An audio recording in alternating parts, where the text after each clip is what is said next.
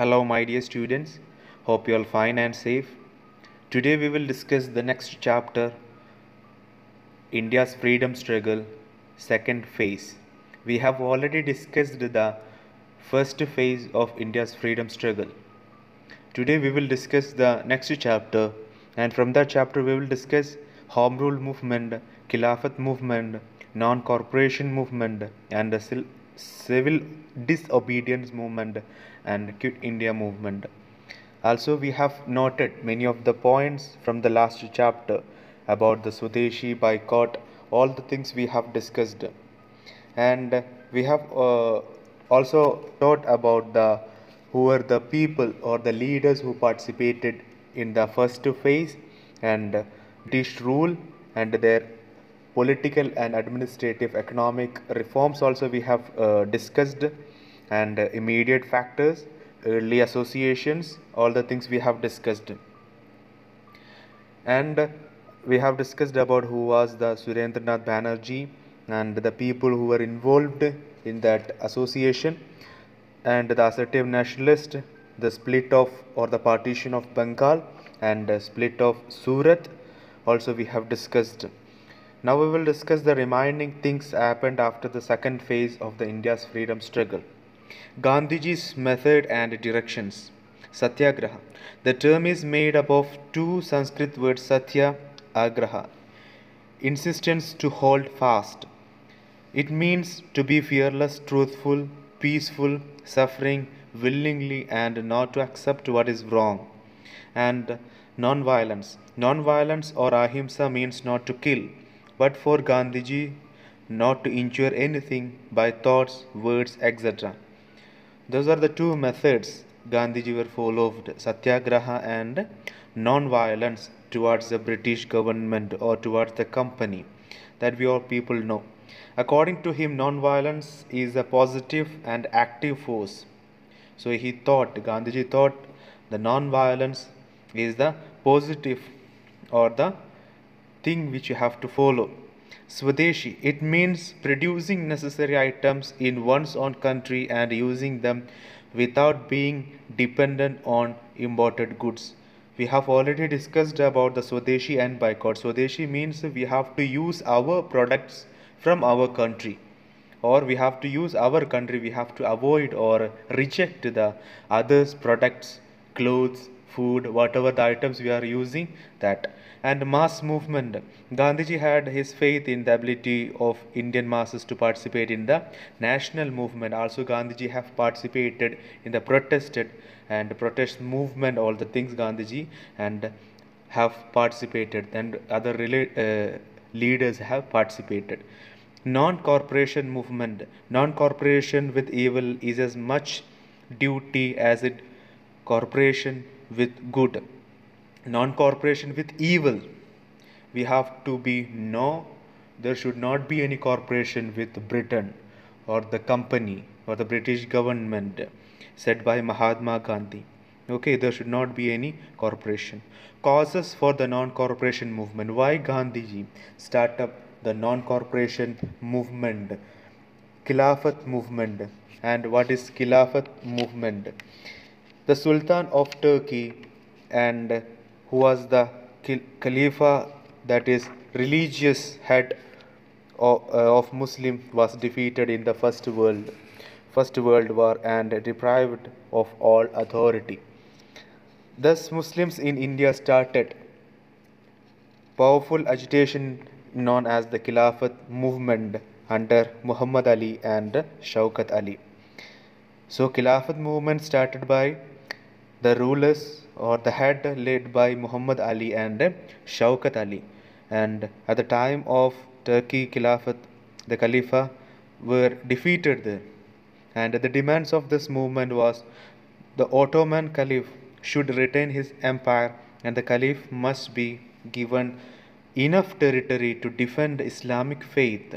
The Arab lands must remain under the Muslim rule. So, the Khilafat movement launched by Muhammad Ali and Shaukat Ali so pursued the government to accord better treatment to Turkey. So they just wanted to bring a better treatment to Turkey and succeeded in drawing a large number of Muslims into the national movement. And the Congress also joined the Khilafat agitation. So the Congress also followed the Khilafat movement. On 17th October 1919 was observed as Khilafat Day and Gandhiji saw this movement an opportunity for uniting Hindus and Muslim. Also Gandhiji saw the Khilafat movement as a good thing. Why? Because there is a chance to bring the Muslim and the Hindus in a unity way.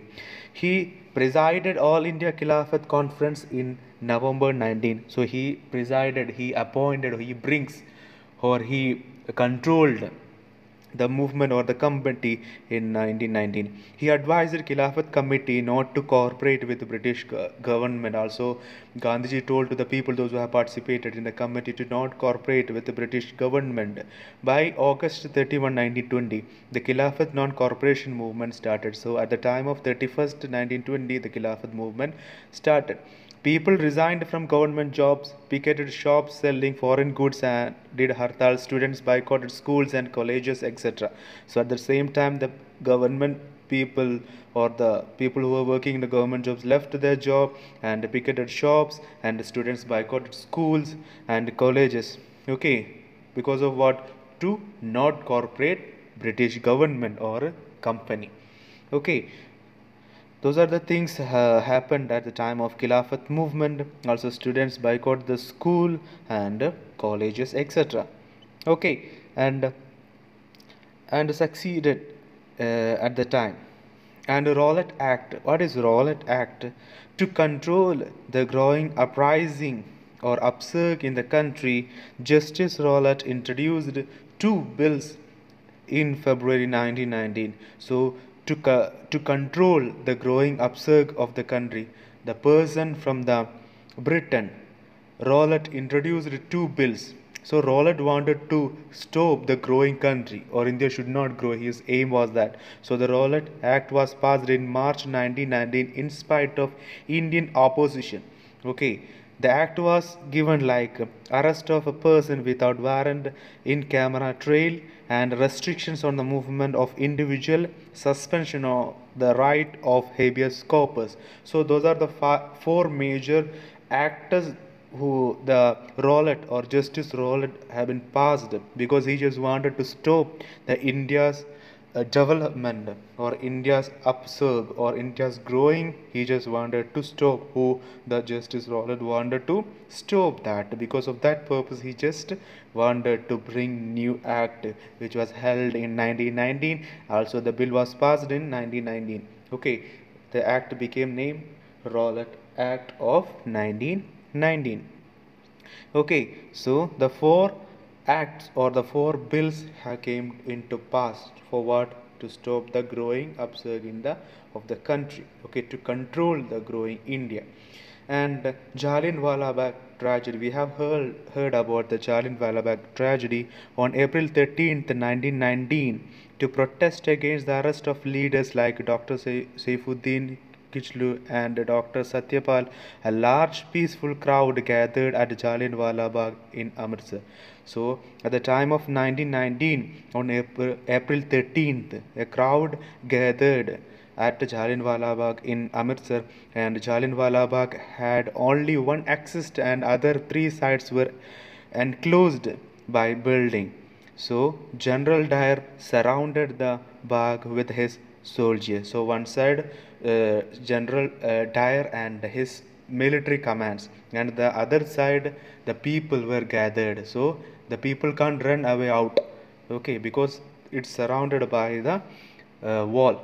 After closing the exit exit he ordered his troops to shoot at the crowd. The troops kept on firing till their ammunition was exhausted. Nearly thousand innocent demonstrators were killed and many wounded. So what he have done, General Dyer told the people or told the soldiers to shoot the people at the nearby and 10,000 people were uh, killed and many were wounded. This incident shocked the nation and Mahatma Gandhi called for non-corporation movement. At the same movement, at the same time only Gandhiji announced for the non-corporation movement. Okay, so in any case, in any way, we should not cooperate with the British government programs of the non-corporation movement boycott program so what all the uh, programs were held after the after the uh, non-corporation movement started. Boycott programs boycott of government school colleges and courts boycott of foreign goods boycott of election commission resignation from nominated seats in local bodies also they should uh, they, it in in in the boycott program it's told that they have to boycott the schools who the people of india should uh, stop the school colleges courts. Also they have to boycott the clothes also boycott the election commission surrender of titles and uh, uh, honorary offices if they have collected any titles from the british government or the company they have to give back to the company. And second thing swadeshi programs also start up after coming or after forming the non-corporation movement. Popularization of swadeshi establishment of national schools colleges and courts. So they just brought up their own schools their own colleges and also they just popularized. People and gandhiji popularized pro, uh, swadeshi movement. Development of unity between Hindus and Muslim, removal of untouchability, emancipation of women, emancipation of bring up women, okay, and the suspension of the non-corporation movement, how it stopped, how it end the uh, non-corporation movement. On February 5th, 1922, the police officer had beaten some volunteers who were picketing a liquor shop at Chauri Chaura, a village in Gorakhpur district in Uttar Pradesh. So, at the same time, the police officer had beaten some volunteers for picketing uh, a liquor shop at Chauri Chaura, a village in Gorakhpur district in Uttar Pradesh. About 3,000 persons marched to the police station to protest against this. So at the same time, the people uh, who were combined, 3,000 people just went to uh, police station for a mar- uh, as a march. Okay, as a result, the police fired at the peasants. So this infuriated the demonstrators and they set the police station on fire, killing 22 policemen who were inside the police station. So 22 policemen also killed at the same time.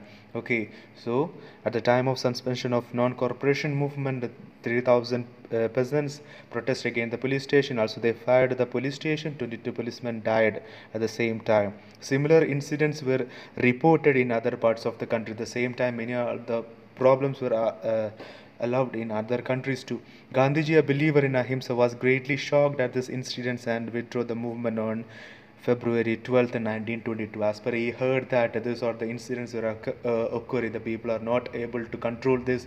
Police are doing this back and they are doing back like that. Hearing by Gandhiji, so he just stopped the non-corporation movement what all the impact held after the non-corporation movement. The national movement became a mass movement. For the first time in history, Indian national movement became a mass movement with the participation of different sections of Indian society such as peasants, workers, men, women, teachers, students, etc. So at the same time, the people who were engaged together at the same time, not for the non-corporation movement.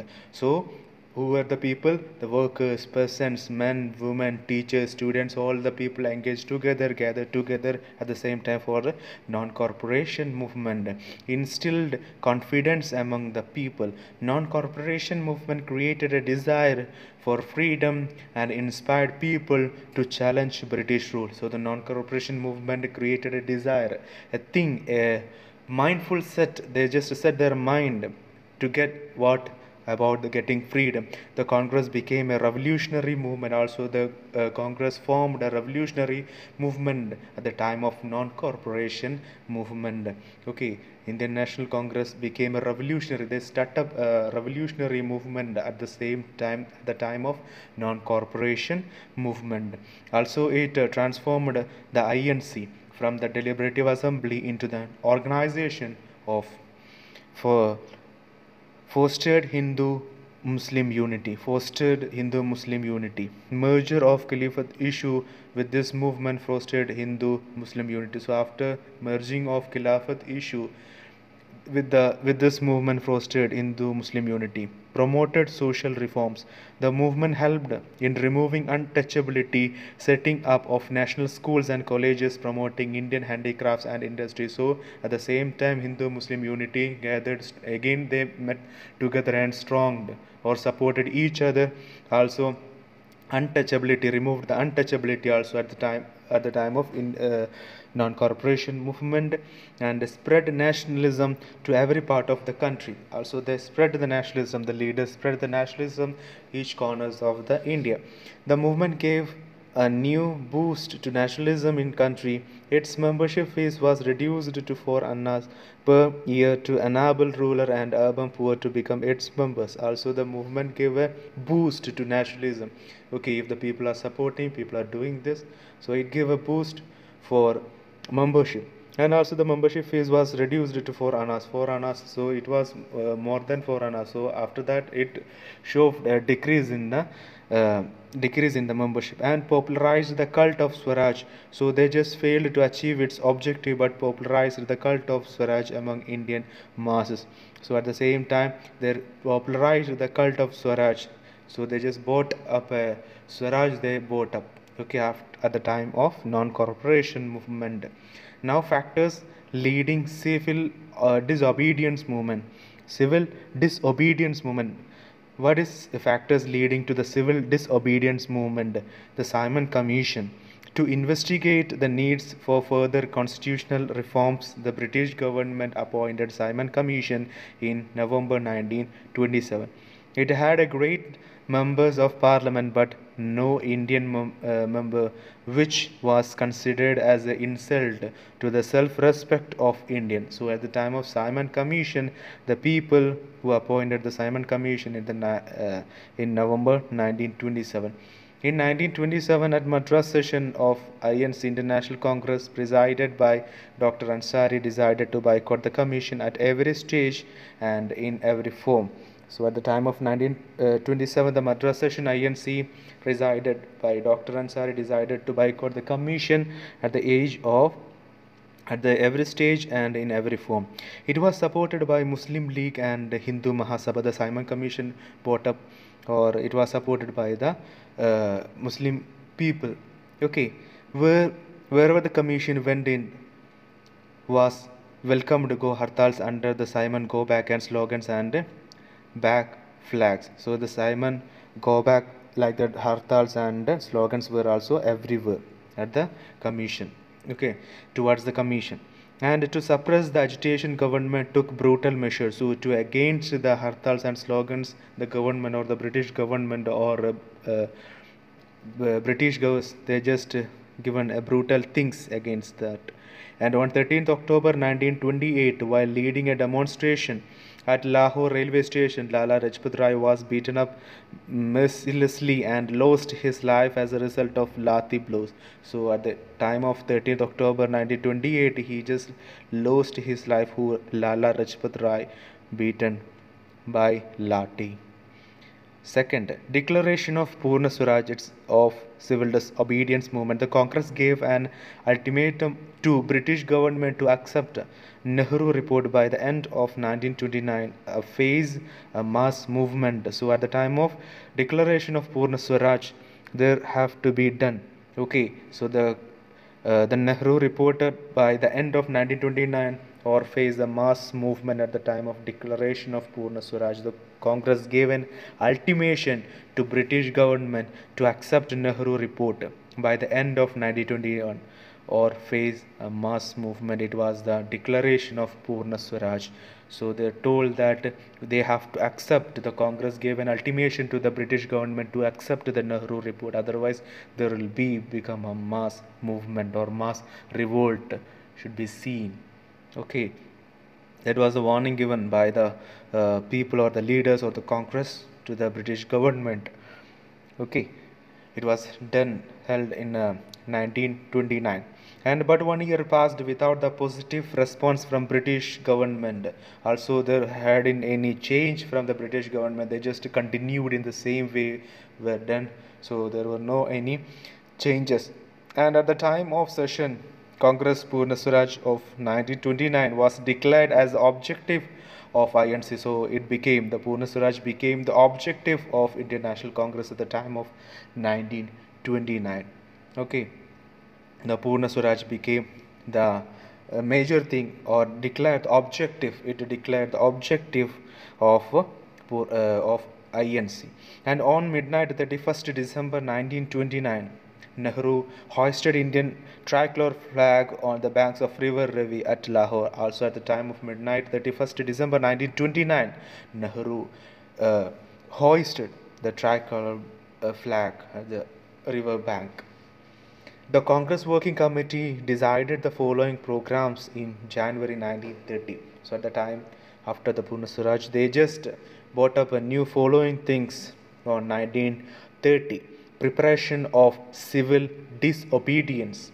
Purna Swaraj, the complete independence would be the goal of national movement. 26th Purna Swaraj Day toward the nation with the hoisting of tricolor flag. Purna Swaraj Day, the nation should be hoisting of tricolor flag on 26th January. Resignations by members of the legislature resignation and withdrawal from all possible association with the British government. So, withdrawal from all possible association. And Dandi March.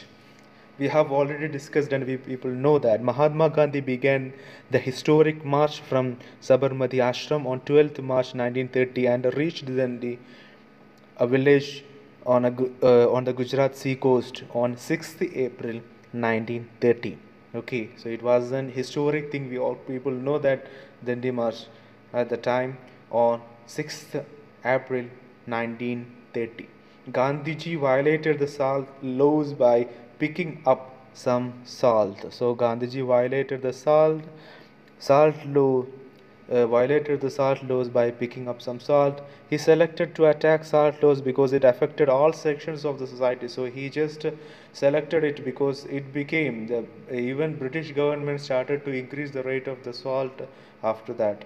After that only there become a march, protest and all.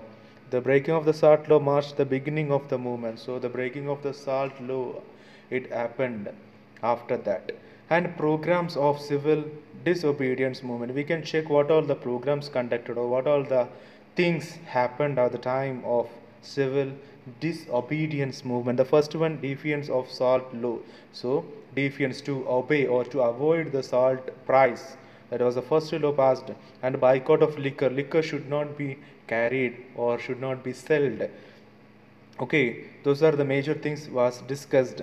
And in march 1931 lord irwin the viceroy started negotiation with gandhi with the help of some indian leaders like tej bahadur sapru etc which resulted the signing of the gandhi irwin pact. So in 1931 the viceroy started negotiation with gandhiji with the help of some indian leaders gandhi irwin pact under this pact, the following things were agreed between British government and Congress. The British government told withdraw all ordinances, release all political prisoners, permit peaceful picketing, and restore the confiscated properties of uh, satyagrahas, and permit the fee collection or manufacture. And Congress to suspend the civil disobedience movement to participate in the second round table and not to press for investigation into police excess. So those are the two things were been agreed by the British government and by the Congress. So it was the pact, the Gandhi Irwin Pact. They both, Gandhi and Viceroy, have settled in two and signed in the two agreements. Those are the British government agreement, and here is the Congress agreement. They just met together okay so also the under the pact the following things the given following things should be were agreed between the british government and congress at that time on the uh, on march 1931 okay so the lord irwin the viceroy the lord irwin viceroy started the negotiation with the Gandhiji with the help of some Indian uh, leaders like uh, Tej Bahadur, Sapru, etc., which resulted in signing of the Gandhi Irwin Pact. Okay, so they given four, uh, five important things or the important following things should be followed by the Congress or the following things will be agreed. Uh, following four things will be agreed by the Congress and the Congress also given some points to be agreed by the British government. Next we will discuss the second round table conference. It was held at London from September 7 December to 1st 1931. As per the terms of Gandhi-Irwin Pact, Gandhiji attended his uh, attended this conference so at the same time it was conducted in the 7th december 1st 1931 and gandhiji attended it and soon the conference was deadlocked when all the minorities demanded separate electorates and the question of independence left behind. So soon the conference was deadlocked when all the minorities demanded separate electorates from the question of independence left behind it. Okay so it was the second round uh, table conference. Also the british government refused to grant dominion status. Also the british government were not ready to give the grant okay so the gandhiji returned to india with dis disappointment the gandhiji didn't feel uh, felt well because of the british government's attitude towards the gandhiji and towards india renewal of civil disobedience movement. The Congress passed a resolution for the renewal of disobedience movement. Gandhiji was arrested. The, Congress, uh, the government took severe measures to suppress the movement. So the uh, Congress passed a uh, resolution. Also, the Congress was declared illegal. Many Congress leaders were arrested and their uh, properties were confiscated. The CDM lost its force and Congress called it off in 1934. So many Congress leaders were also arrested at the same time. Impact of the civil disobedience movement. What all the things or the impact were happened at the same time of the civil disobedience movement.